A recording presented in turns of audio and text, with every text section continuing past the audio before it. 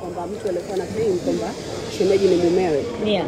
Watu yani, mimi hapa, hata watu wengine wanaweza kusema oh, Zari alikuwaga mke wangu ama vitu kama hivyo. Ule dada wametoka naye, ni ukweli, sitaki kuzungumzia sana, lakini ametoka naye at some point, wakawa wamefanya karatasi Mwanadada Zari pamoja na mumewe eh, wameshatua Tanzania na kubwa zaidi ni jambo ambalo linakwenda kufanyika pale Element. Sasa wakati yuko airport, waandishi wa habari wamejitokeza pale eh, wamemuuliza maswali na moja ya maswali ambayo ameulizwa na nikavutiwa nalo nikasema nikusogezee hapa ni pamoja na lile linalomuhusu mume wake. E, inakuwaje? E, kuna stori ambazo zilikuwa zinasambaa kwenye mitandao zikimhusisha mume wake kuwa na mke mwingine. E, sasa kafunguka mambo mengi sana lakini pia kafunguka kuhusiana na Diamond Platnumz na kafunguka kiasi e, au mahari gani amepewa na mumewe. So nitakupa stori kwa ufupi lakini pia e, kukujuza ni kitu gani ambacho kinaendelea. Kwanza kabisa yuko Tanzania kwa ajili ya show au show off wanaziita wenyewe inayofanyika pale Element ni kama eh, mtu ukishakuwa una brand yako yani una usta fulani unaitwa kwa ajili ya muonekano pale. Ukionekana basi watu mbalimbali wanajitokeza so mnafurahi na mwisho wa siku sehemu inakuwa imehappen yani sehemu inakuwa kama inaendeleza burudani na kupati na nini vitu kama hivyo. Sasa chana na hivyo. Tuje kwenye kile ambacho kinamhusu sasa Zari pamoja na mumewe. Zari huona kafunguka ya kuwa mumewe stori ambazo zinaendelea kuwa ndoa yake imevunjika si za kweli. Lakini kikubwa zaidi ameshuka pia na mume wake. Huyo ameongozana wote unajua tena wawili hao kwa mmoja anapokuja kupiga pesa basi mume naye anakuja kumsapoti eh, kuhakikisha mambo yanaenda sawa kabisa. Sasa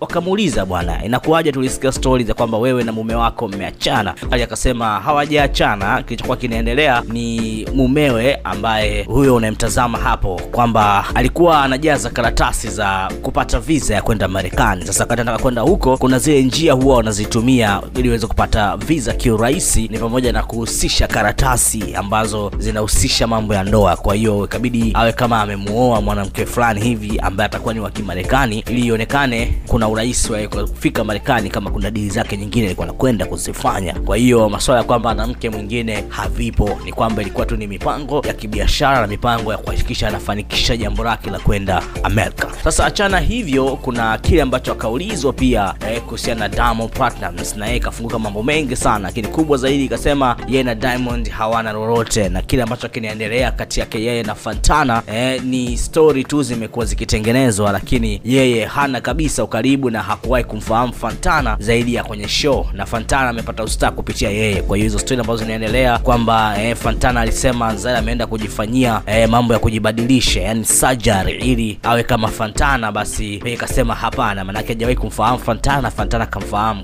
kupi- kupitia kwenye show lakini kamfahamu Zari kipindi hichi na tumemfahamu Fantana kupitia Zari mwana. Kwa hiyo hana chochote ambacho kinaendelea kati yake na Diamond na kile ambacho anakifanya Fantana labda ni kutafuta kiki tu eh, mambo ya mjini hayo. Sasa kuna hiki kingine ambacho pia akaulizwa eh, ni mali kiasi gani mumeo ametoa kwa ajili ya wewe kuwa mke wake? Eh, Zari bwana alichokijibu tofauti kabisa na kile ambacho watu walitegemea. Watu walitegemea itakuwa ni mamilioni ya pesa. Yeye kasema kwa hivi sasa ana kila kitu. Maisha yake yana kila kitu anachokihitaji. Na anashukuru Mungu kwamba e, amemwezesha kupata hitaji lolote lile la moyo wake. Kwa hiyo hana haja ya kuhitaji mapesa mengi au vitu vingine zaidi ya Qurani. Eh, kitabu cha dini hicho ndo ambacho alikiomba kwa mumewe apewe. Eh, mambo makubwa kweli kweli na ni mazuri sana kwa wawili hao kwani eh, mwingine hapo angeomba mapesa na nini lakini yeye kaomba kitabu cha dini na kikubwa zaidi anataka sana kuwa kiimani zaidi tofauti na vile ambavyo amekuwa akiishi maisha yake huko nyuma.